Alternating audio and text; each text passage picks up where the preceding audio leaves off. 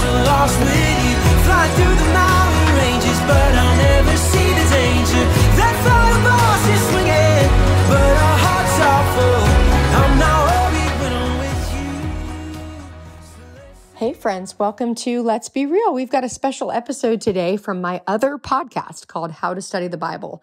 Just about the same time during the pandemic, we started Let's Be Real and How to Study the Bible. And it's been such a joy to see how that podcast has been used to help people discover God's Word. It's a very simple format where each and every week we open a passage of scripture and ask four questions of the Bible. And um, I hope that you might enjoy it and find it to be a helpful resource for your own journey in faith. So, we're in a series uh, for Advent called God of Our Mothers. We're looking at all of the moms in Jesus's lineage, as we find in Matthew chapter 1. And let me tell you, these are some scandalous stories. So, if you want to take a listen to a couple of stories that you might not even realize are in the Bible, come on over to How to Study the Bible and enjoy this first episode right now. And if you do enjoy it, would love to invite you to like, subscribe, leave a review, and come join our tribe over at How to Study the Bible. All right, everyone, enjoy. We are never defined by our past. Everything in our life wants us to believe that we're defined by what we've been, by how we've failed, by the mistakes that we've made, that we, we can do something that will always define us for the rest of our life. But God seems to be saying again and again in Scripture that we are not defined by our past, that there is nothing that can define us more completely and fully, past, present, and future, than our standing as sons and daughters of God, and that it's because of Christ, because of Christ's birth, and that we celebrate at Christmas time, that we can even have the, the freedom and the ability to be sons and daughters of God, and that God gives us that through Jesus. Hello, my friends. Welcome back to How to Study the Bible and welcome to Advent. We are in the five weeks leading up to Christmas. And I'm looking forward to these next few weeks where we're going to take a look at some stories that may be familiar to you and some stories that may not. We're going to be looking at the women in Jesus's lineage as we look at the way that Jesus is introduced to us in the Gospels. We see, particularly in the book of Matthew, that a chronology is given of his life and of the people in his ancestry. And in a very unusual turn of events, there are women listed in that lineage. Generally, the, that lineage would only include fathers or men, and it stands out that women are included. So we're going to ask the question why are these women included? And what do we want to know about them? And what does it teach us about who God is and what he desires for us? So that's what we're going to be doing over the next five weeks. But I want to let you guys know I also have a gift for you this Christmas. If you're interested in bringing uh, some meaning into your family gathering, whatever that family gathering looks like, whether that's family or friends, I've written a very simple liturgy that you can use on Christmas Eve. Now, what's a liturgy? It's a it's a ritual. It's a way of creating a tradition. And in this particular liturgy, what I do is give you chances to ask different kids to speak, and there's a read along sort of format where everyone is connected and involved in reading along and through the idea of who Jesus is and why he came. So it's just my gift to you this season. If you'd like to check it out, you can go to NicoleUnice.com slash Christmas and you can get the free download and use it however you'd like. I'd love to love to hear how that might be helpful to you. Again, it's NicoleUnice.com slash Christmas if you want to check that out.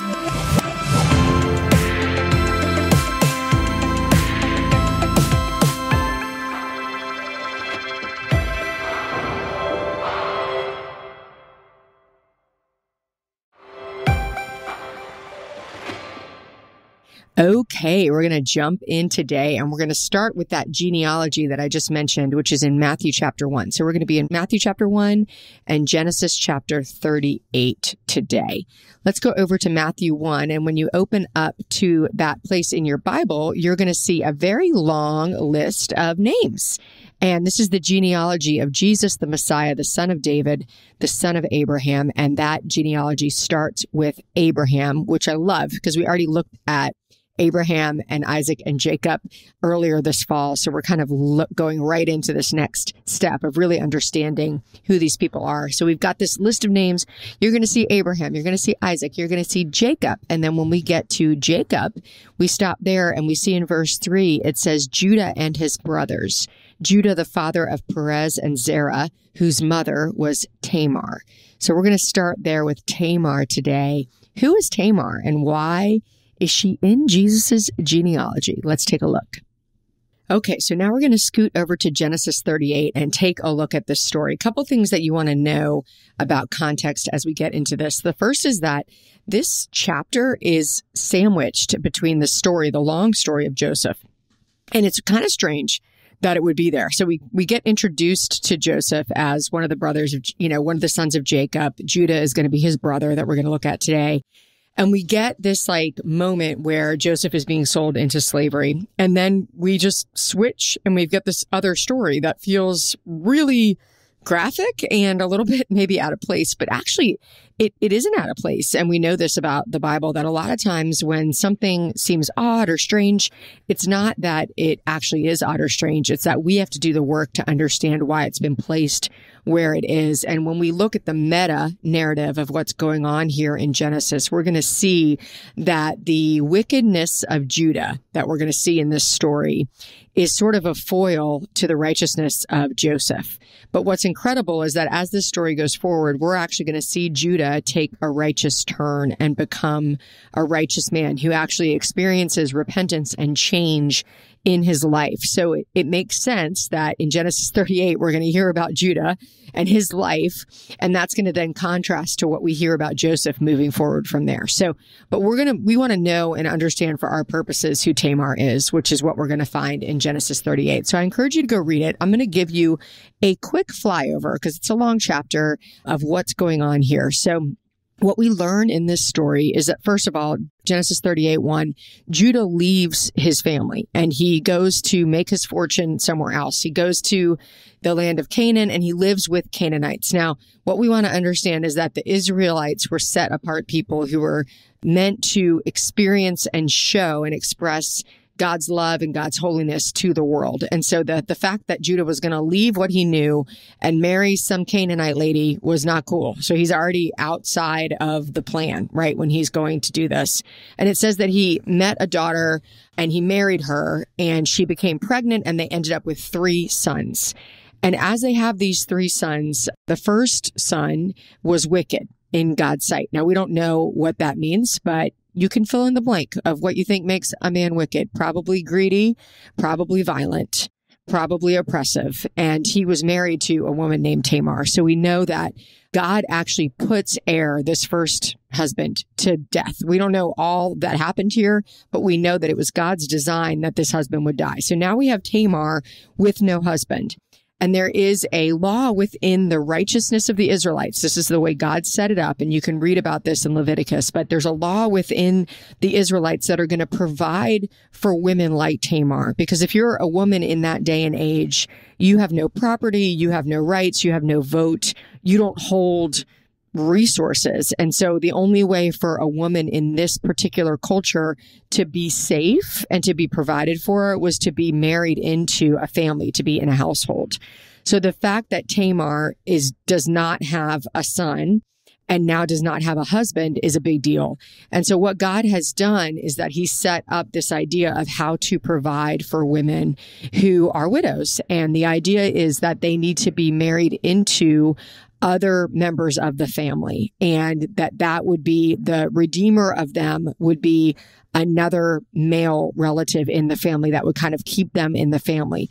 And what that does is it allows that deceased husband's sort of family line to go on, right? So we're we're building out this tribe of people and we don't need to get into like whether that we know that's not right. This is just what what was. We're just reporting on what was. And oftentimes I think what would it be like to be, you know, a hundred years from now looking back at 2022 and our grandchildren and great great great grandchildren are probably going to have a lot to say about the culture that we're in 2022. But when you're in it, you're just in it And this is just what was. God isn't making a stance or a command about the way to treat women. In fact, we're going to see that God has his designs on how he cares for the marginalized, but it just was was what the culture was at the time.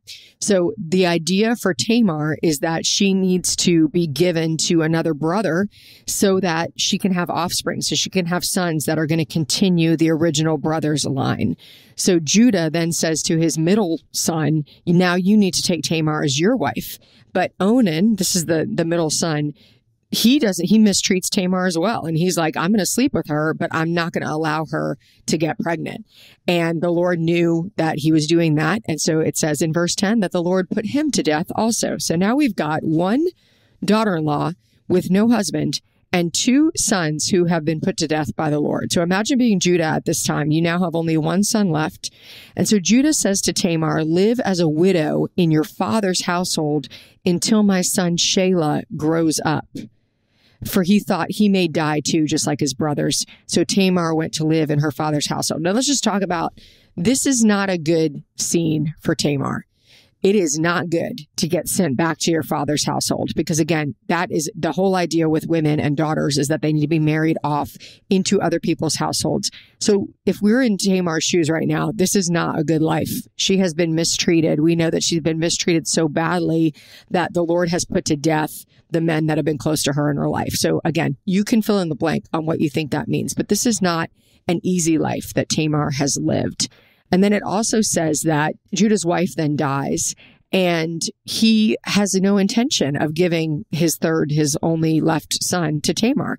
Who knows if he thought Tamar was cursed or Tamar was a witch or Tamar had some sort of hex on her, but he, it makes it clear in scripture that Judah had no intention of ever giving his youngest son to Tamar. So he has lied. He sent Tamar back to his father's household.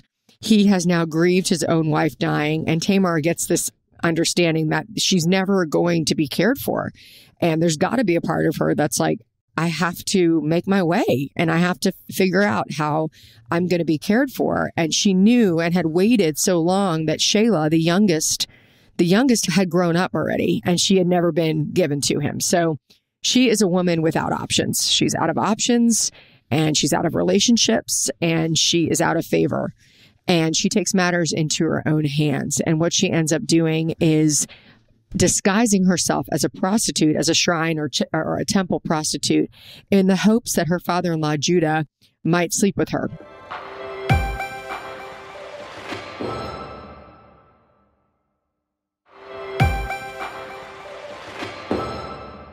So let's keep in mind all Tamar has done is put herself in a position to hopefully change her fortune, but it is Judah himself who comes and propositions her. And so she says back to him, Well, what will you give me to sleep with you?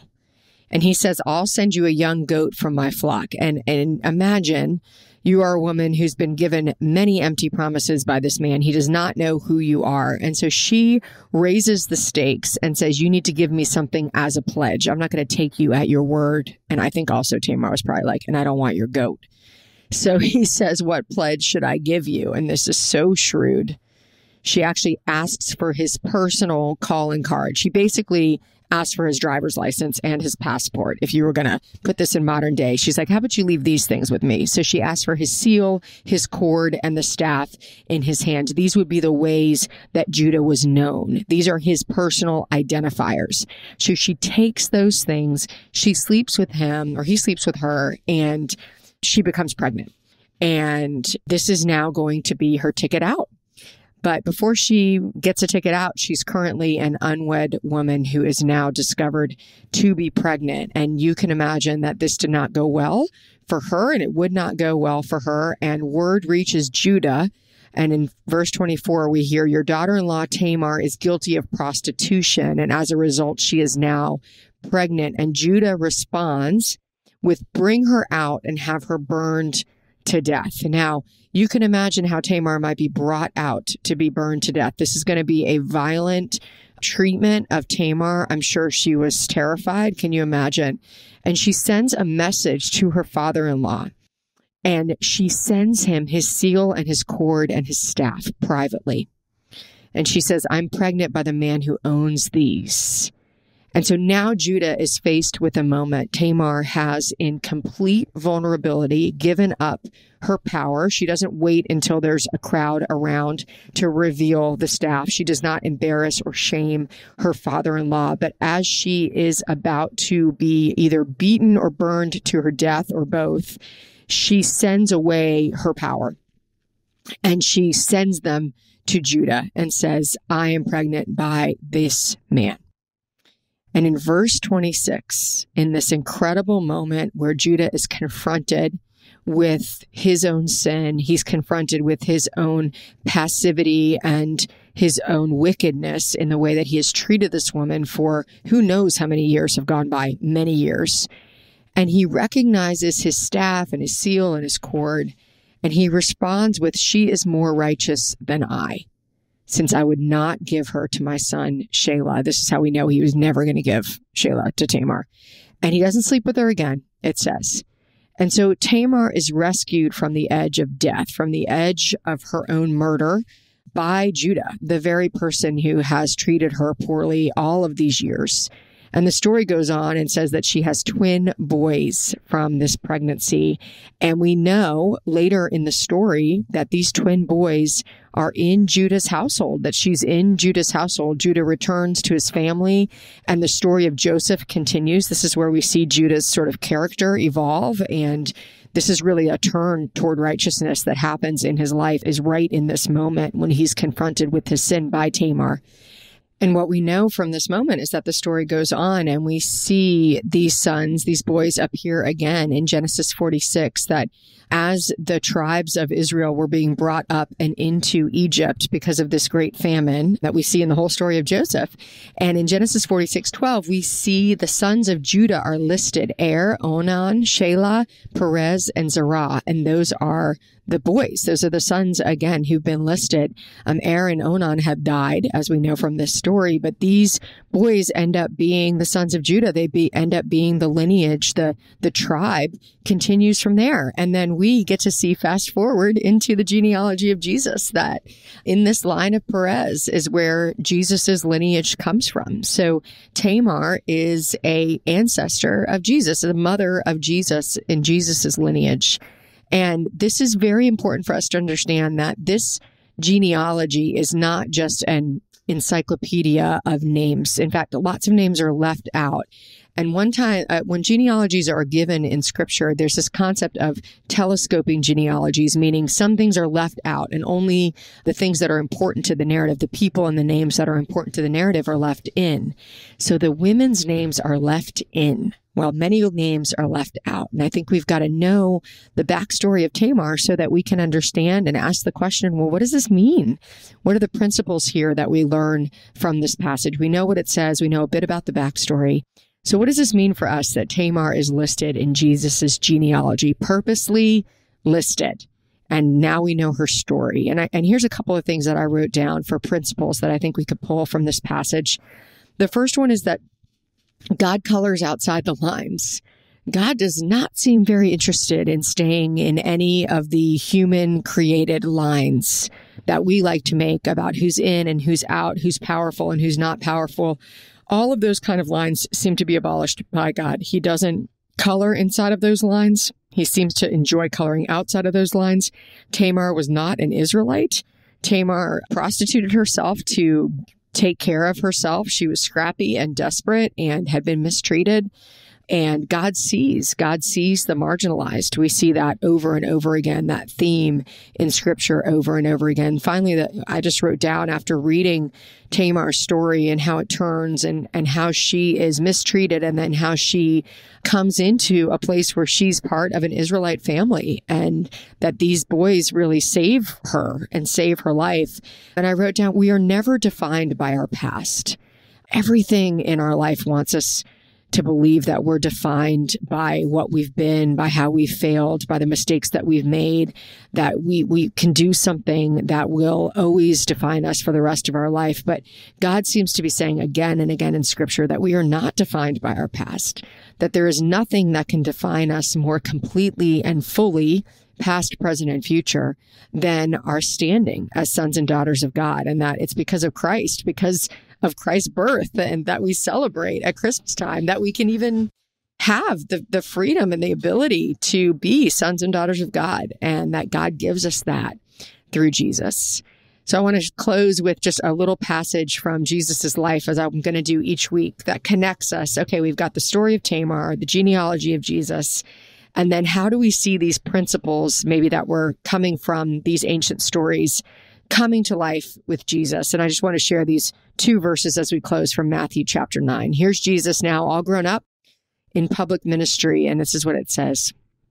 While Jesus was having dinner at Matthew's house, Many tax collectors and sinners came and ate with him and his disciples. When the Pharisees saw this, they asked his disciples, Why does your teacher eat with tax collectors and sinners? On hearing this, Jesus said, It is not the healthy who need a doctor, but the sick. But go and learn what this means. I desire mercy, not sacrifice, for I have not come to call the righteous, but sinners. So, what does this mean for us today, friends? Well, first of all, we have to ask ourselves how do we define ourselves? Are we righteous on our own or are we sinners on our own? Can we relate to the desperation of Tamar taking matters into her own hands, being marginalized, being mistreated, feeling left out? Because if we can relate, then we can receive. And what we have to receive are the words of Jesus that say, I have come for the sick.